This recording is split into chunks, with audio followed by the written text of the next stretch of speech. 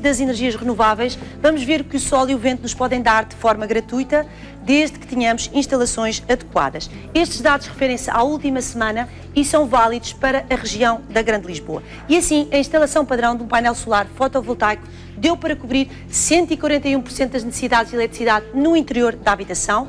A instalação padrão de um painel solar térmico deu para cobrir 79% das necessidades do aquecimento das águas e ainda o vento em todas as pás eólicas de Portugal continental permitiu gerar eletricidade que abasteceu 2 milhões 490 mil habitações. E assim, vendo em pormenor a produção de eletricidade a partir de um painel solar fotovoltaico, correspondeu a cerca de 100 kWh Quer isto dizer que no interior da habitação todos os consumos foram satisfeitos e ainda seria possível exportar para a rede ou para um vizinho os restantes 41% de eletricidade que serviriam, por exemplo, para a iluminação do vizinho e ainda para o seu frigorífico.